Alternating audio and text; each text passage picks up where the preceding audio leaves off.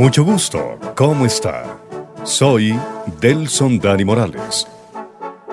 Hoy hablemos de En busca del aplauso.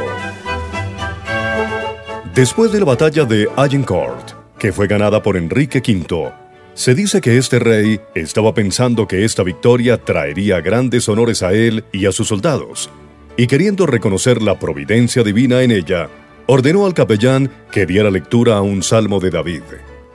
Cuando el capellán leyó las palabras, No a nosotros, oh Jehová, no a nosotros, sino a tu nombre da gloria. Salmo 115, versículo 1. El rey bajó de su caballo e hizo lo mismo la caballería, y todos a un tiempo, desde el rey hasta el último soldado, se postraron tocando sus rostros en el suelo.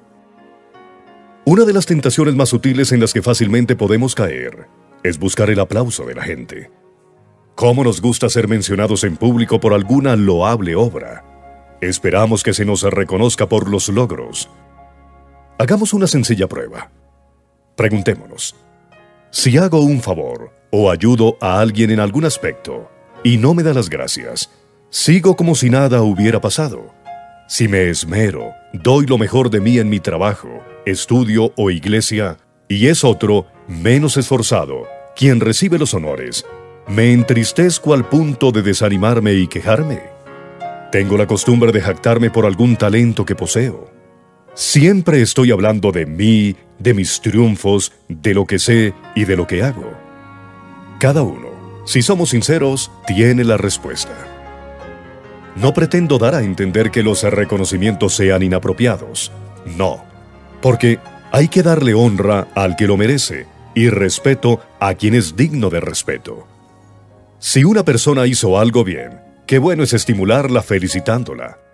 Lo incorrecto es estar buscando el aplauso de la gente. No debemos olvidarnos de que lo que recibimos gratuitamente debemos darlo de la misma manera. Si tenemos una cualidad o si alcanzamos algo, es por la benevolencia de Dios, que sin merecerlo, nos dio fuerzas físicas, inteligencia, recursos financieros y los medios para la consecución de nuestras metas. Tengamos muy, pero muy presente lo que dice Proverbios 27, versículo 2.